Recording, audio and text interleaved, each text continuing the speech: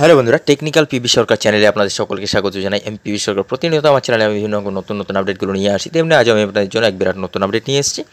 PM আবাস যোজনার payment আবাস যোজনার টাকা কবে পাওয়া যাবে জানিয়ে দিল কেন্দ্র। এই আবাস যোজনার টাকা কবে পাওয়া যাবে বিস্তারিত জানার জন্য আমার চ্যানেলে পুরো ভিডিওটাকে দেখবেন। আর পুরো ভিডিও না দেখলে কিন্তু আপনারা কিছু বুঝতে পারবেন না। তাই পুরো ভিডিও দেখার অনুরোধ রইল আপনাদের সকলের কাছে। তাই দেরি করে ভিডিওটা শুরু করছি। আমার চ্যানেলে নতুন হয়ে গেলে চ্যানেলটাকে সাবস্ক্রাইব করবেন। ভিডিও ভালো লাগলে লাইক করবেন কমেন্ট করবেন, বন্ধুদের সঙ্গে শেয়ার করবেন। ধন্যবাদ, পাশে থাকবেন। পিএম আবাস যোজনা পেমেন্ট আবাস যোজনার টাকা কবে পাওয়া যাবে জানিয়ে দিল কেন্দ্র। দুহাজার তেইশ সালে কারা প্রধানমন্ত্রী আবাস যোজনার আওতায় অনুদান পেতে চলেছেন? পশ্চিমবঙ্গের রাজ্য সরকারের পক্ষ থেকে তারা তার তালিকা প্রকাশ করা হলেও এখনও পর্যন্ত আবাস যোজনার অধীনে কবে অনুদান পাওয়া যাবে তা স্পষ্টভাবে জানা যায়নি। তবে এবারে যে সমস্ত আবেদনকারী প্রধানমন্ত্রী আবাস যোজনার আওতায় বাড়ি তৈরির অনুমোদন পেয়েছেন, তাদের জন্য রয়েছে একটি বিশেষ আপডেট। আগামী দিনে কবে কেন্দ্রীয় সরকারের তরফে এই আবাস যোজনার টাকা দেওয়া হবে বা দেওয়া হতে পারে তা নিয়ে এক বিশেষ আপডেট প্রকাশ্যে আনা হলো। বিগত সোমবার কেন্দ্রীয় গ্রাম উন্নয়ন মন্ত্রকের সচিবের সঙ্গে রাজ্যের পঞ্চায়েত দপ্তরের কর্মকর্তাদের বৈঠকের আয়োজন করা হয়েছিল আর সেই বৈঠকে কেন্দ্রীয় সরকারের আধিকারিকদের কাছে আবাস যোজনাকে ঘিরে পশ্চিমবঙ্গের কর্মোদ্যোগ রীতিমতো প্রশংসিত হয়েছে। এই দিনের বৈঠকে কেন্দ্রীয় কর্মকর্তারা দ্রুততার সঙ্গে বাড়ি তৈরির অনুমোদন প্রদান এবং আধার লিঙ্ক করার বিষয়টি নিয়ে পশ্চিমবঙ্গ সরকারের প্রশংসা করছেন।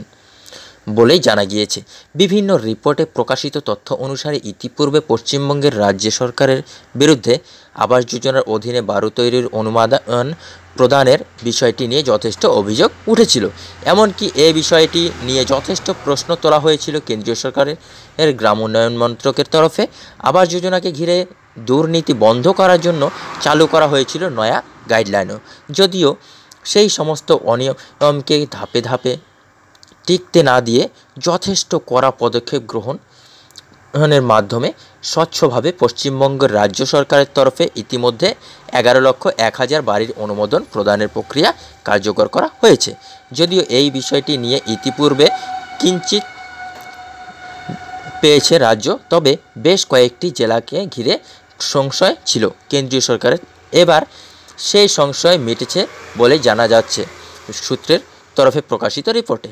তবে এখানেই শেষ নয়, এর পাশাপাশি এই দিনের বৈঠকে রাজ্য সরকারের অধিকারীদের তরফে আরও জানানো হয়েছে যে ইতিমধ্যে বিরানব্বই শতাংশ আবেদনকারীর আধার লিঙ্কের প্রক্রিয়া সম্পন্ন করা হয়েছে, আর তাতেই কেন্দ্রীয় সরকারের অধীনস্থ আধিকারিকদের কাছে রীতিমতো প্রশংসিত হয়েছেন বাংলার কর্মোদ্যোগ। এছাড়াও এদিনের ম্যারাথন বৈঠকে এনএস এপি প্রকল্পে কাজও দ্রুত গতিতে এগিয়ে নিয়ে যাওয়ার জন্য যথেষ্ট প্রশংসিত হয়েছে রাজ্য সরকার। দ্বিতীয় রাজ্যের কাজের প্রশংসা করা হলেও আগামী দিনে কবে আবাস যোজনার অনুদান পাওয়া যাবে তা নিয়ে কোনো রূপ মন্তব্য করা হয়নি কেন্দ্রীয় সরকারের আধিকারিকদের তরফে। আর তাতেই কেন্দ্রীয় সরকারের বিরুদ্ধে রাজ্যের বিভিন্ন ক্ষেত্রে কর্মকর্তা সহ সাধারণ মানুষের ক্ষোভ বাড়ছে।